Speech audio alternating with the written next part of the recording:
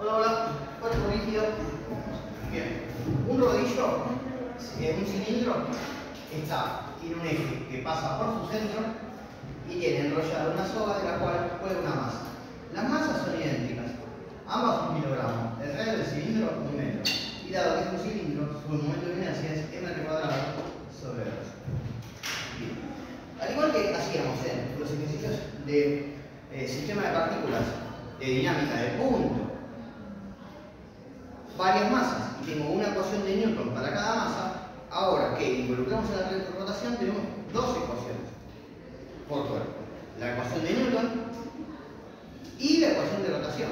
Entonces, así como en Newton tenemos que la suma de las fuerzas masa por aceleración, para la rotación tenemos la suma de los torques igual a momento de inercia por aceleración angular.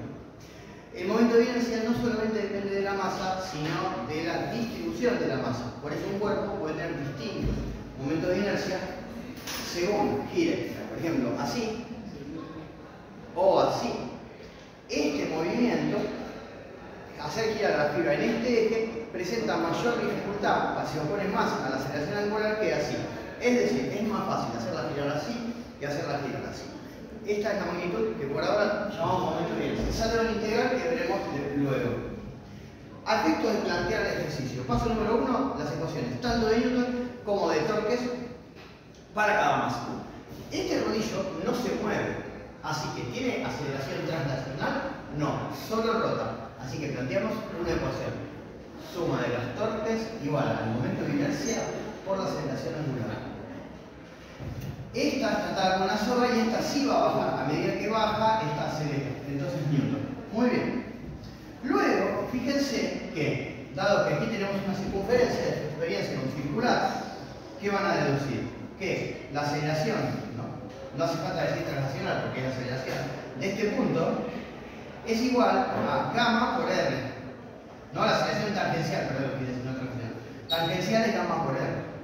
Así que fíjense, aceleración, gamma por R. ¿Por qué? ¿Cómo vinculamos la aceleración angular del rodillo con la aceleración translacional de, la masa? Bueno, con la aceleración tangencial. Porque esta aceleración es esta aceleración. Así que aquí tengo la ecuación que vincula a la aceleración que aparece en Newton con gamma que aparece en esta. Muy bien, sistema de referencia positivo en este sentido de giro. Así que, ¿el torque quién es? Torque, o momento, es R cruz F. Luego veremos que es un producto cruz, pero por ahora es esto esto. Tensión por radio. Ven acá lo tengo, tensión por radio igual a el momento de inercia por la aceleración angular. Simplifico, ¿verdad? Ahí. Luego fíjense que no tengo acá R gamma, simplifiqué el cuadrado este con este. Y R gamma no es la aceleración, tal cual. Así que T es igual a M medios por quién? R gamma, y lo sustituyo por la aceleración, ¿ven? Bien. Este T, acá. M medios, Y en vez de poner R gamma, ¿qué puse? La aceleración.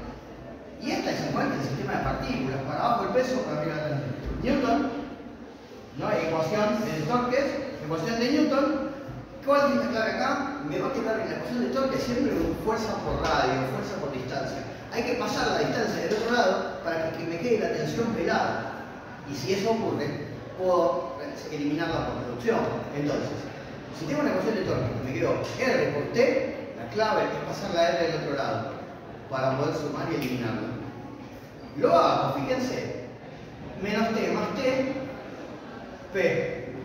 Y MA más medio MA es 3 medios MA. Luego peso, no es lo mismo que masa por gravedad, sustituyo simplifico la masa y llego a que la aceleración con la cual baja esa masa es dos terceras partes de la gravedad, un momento.